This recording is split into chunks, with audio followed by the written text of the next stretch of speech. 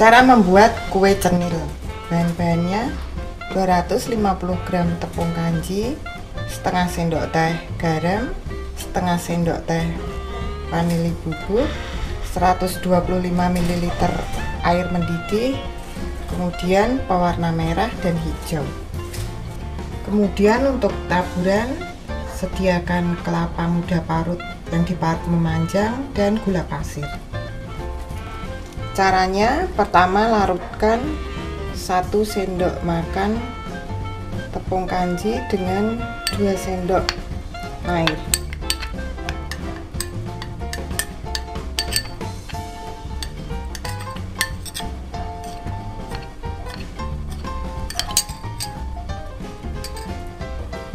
Selanjutnya masukkan garam dan vanili bubuk ke dalam air panas.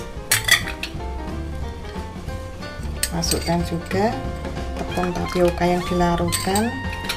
Kemudian aduk-aduk sampai mengental. Setelah mengental, kemudian masukkan tepung tapioka sedikit demi sedikit, aduk-aduk sampai merata.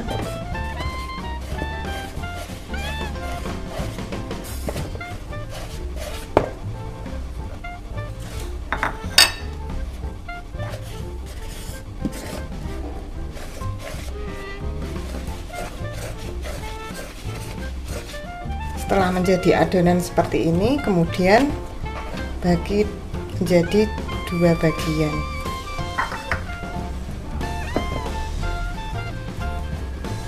Tambahkan sedikit pewarna makanan pada adonan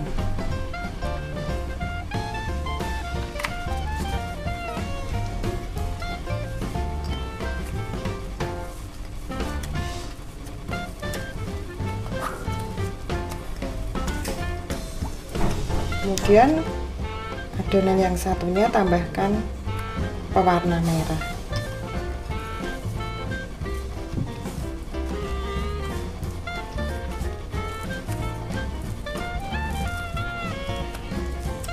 Selanjutnya panaskan air kemudian cetak adonan menurut selera masak sampai mengambang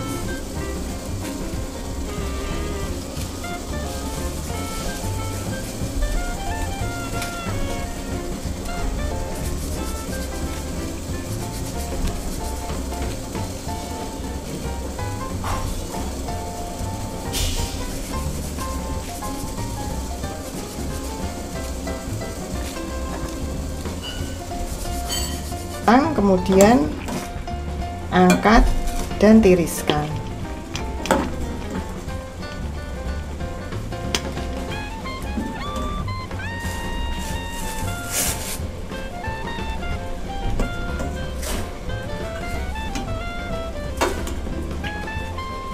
Setelah dingin kemudian sajikan dengan ditaburi kelapa muda parut